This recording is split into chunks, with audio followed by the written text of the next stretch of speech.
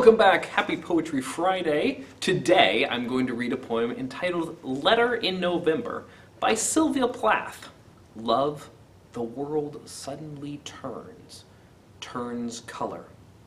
The streetlight splits through the rat's tail pods of the laburnum at nine in the morning.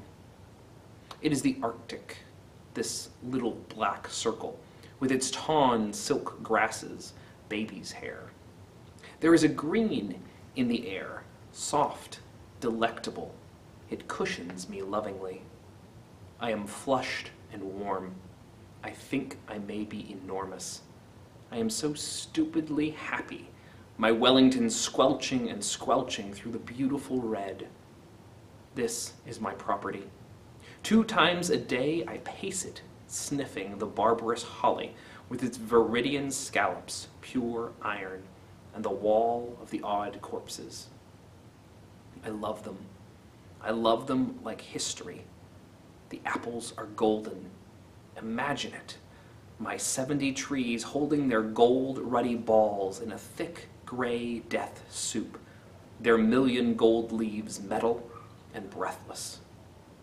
Oh, love. Oh, celibate. Nobody but me walks the waist-high wet the irreplaceable golds bleed and deepen the mouths of Thermopylae.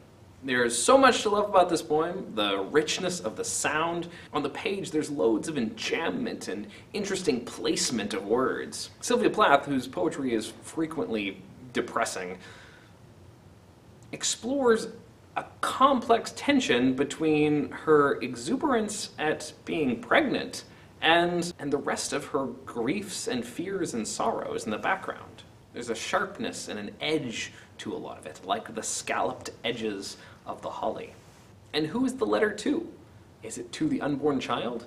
Plath's poems are often rich with feeling and ambiguity, which allow you to digest them and process them.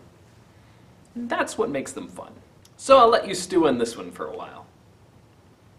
Thanks for watching. I'll see you next week with another poem. Have a great week. Bye-bye.